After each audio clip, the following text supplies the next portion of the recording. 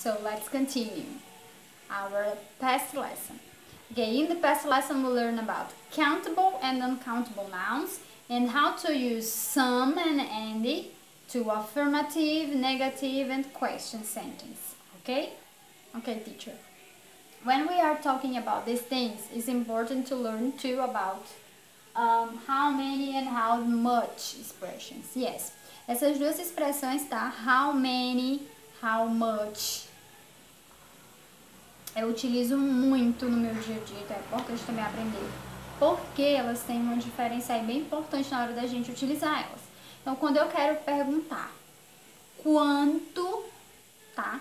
Quantidade das coisas, eu vou utilizar essas duas expressões, tá? Quando eu quiser perguntar quantas crianças existem, quantos alunos tem na sala, quantas maçãs tem na, tem na, na, na cesta, quantas camas, quantas TVs tem na... Quanto? Quanto? Tô sempre essa, essa pergunta, tá? Que a gente utiliza muito para perguntar a quantidade das coisas. A gente vai usar o how many e o how much. Agora, qual a importância entre elas? Simples. O how many eu vou utilizar para countable nouns, que a gente aprendeu na aula passada. Então, quando eu conseguir contar é, essa coisa, eu uso how many. Por exemplo, se eu, se eu quisesse perguntar, how many people are in the class? How many people are in the class? Então, você pensa people, pessoas. Dá pra me contar pessoas? Yes. Eu posso dizer, there are three There are four people, there are ten people. Então, countable é contável. Então, na pergunta eu vou utilizar o how many. Agora, se eu fosse perguntar de uma coisa que não tem como contar. Example, teacher.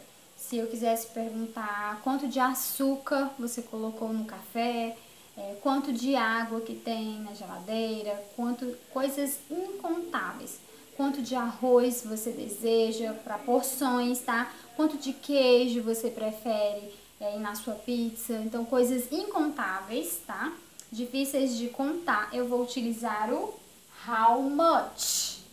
How much? Ah, e o how much também eu vou utilizar para perguntar o preço das coisas, tá? Apesar de dinheiro a gente poder contar, é, existe essa exceção aí. How much também eu utilizo para perguntar o preço das coisas. Então, quando eu quiser ver quanto custa isso?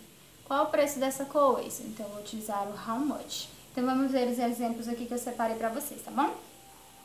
Um, primeiro, eu utilizei aqui o how much, tá? Até aqui. E aqui eu utilizei o how many. Então, vamos lá. Novamente, how many countable things, how much, how much uncountable things. So, how much sugar is there? Repeat. How much sugar is there? Quanto de açúcar tem lá? Pode ser no café, pode ser no pote. How much sugar is there? Como é que a pessoa poderia responder? Vai depender se ela responder. Um, is there some sugar? Um, there isn't any sugar, tá? Nenhum. Então vai depender se a, a resposta vai ser afirmativa ou negativa. Então, é Sugar não é uma coisa que não dá para contar, por ser muito pequeno grão. Então eu vou usar o how much. How much bread have you got? How much bread have you got? Quanto de pão você tem? Quanto de pão você tem? Então, pão não é? Pão também é uma porção de alguma coisa. Ele vem, geralmente pode ser um pedaço do pão, pode ser um pão inteiro, mas eu não vou dizer um pão, dois pão, três pão, não vou dizer isso em inglês. Então ele é incontável, porque geralmente as pessoas comem é, por porções, tá? Então alimentos que vêm assim em porções também é how much, tá bom? Então é incontável. Cuidado aí, porque pra gente pode parecer contável algumas coisas, mas em inglês não é. Eles não classificam como contável. How much are these tablets? How much are these tablets? Então, eu cheguei numa loja, vi lá um tablet, quero saber o preço. How much? How much? No caso aqui, how much is this tablet, tá, gente? Uma correção aqui. How much is this tablet? Quanto é esse tablet? How much are these tablets? Poderia sim, porque poderia perguntar quanto que custa nesses tablets, mas aí teria que estar tablets, plural, tá? Então, só pra deixar claro pra vocês. Então, preço também eu vou utilizar o how much, quanto custa, tá? Perguntar o preço das coisas. Agora, how many, que pra mim é mais fácil, para coisas contáveis. Vamos lá, tudo aquilo que eu posso contar. Os exemplos que eu coloquei, sisters, apples, students, todas essas coisas eu consigo contar. Então, how many sisters do you have? How many sisters do you have? Quantas irmãs você tem? How many apples are there? Quantas maçãs tem lá? How many apples are there?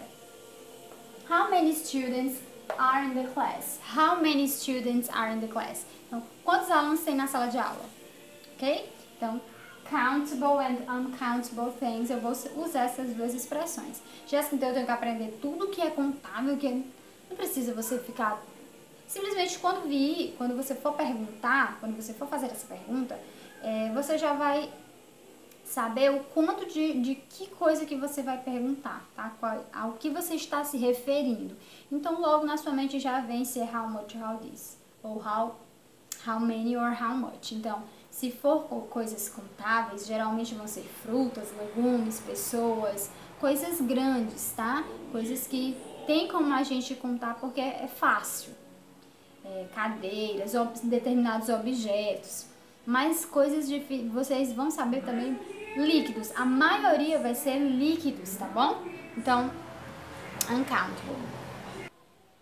So, essa é a grande diferença, tá, gente? Também você vai aprendendo com o tempo. De tanto você praticar as frases, um, how much apples, how much sugar, você vai é, conseguindo aí identificar o que é countable e o que é uncountable, mas na prática, ok? So, see you next class and have an excellent week.